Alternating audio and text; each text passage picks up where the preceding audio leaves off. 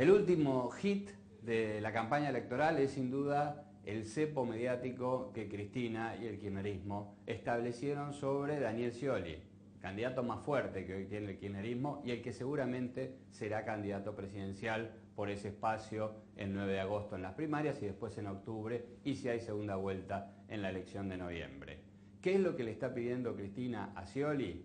Claramente es que no hable de 30 temas que son demasiado sensibles para el gobierno, demasiado sensibles para la presidenta. Es muy fácil de adivinar, cepo al dólar, inflación, eh, el, déficit, eh, el déficit fiscal, eh, el déficit de la balanza energética, el déficit comercial.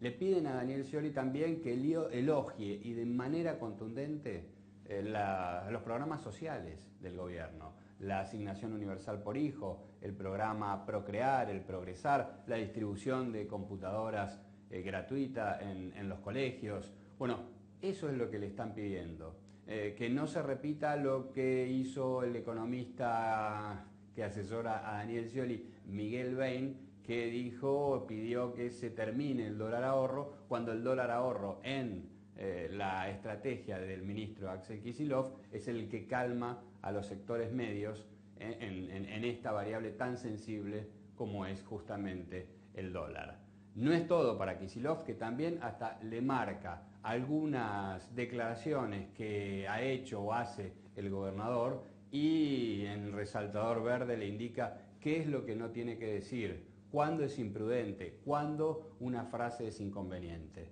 Bueno, de estas cuestiones está formada esta idea del gobierno de mantener este cepo mediático sobre el candidato más competitivo que tiene el kirchnerismo, que sin duda es Daniel Scioli.